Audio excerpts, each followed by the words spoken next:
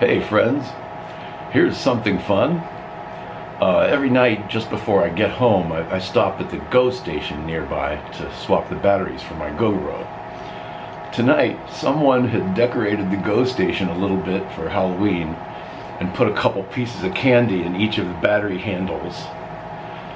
Whoever did that has a good sense of humor, I think. Thank you, random Gogoro owner, most likely. Check this out and have a good night.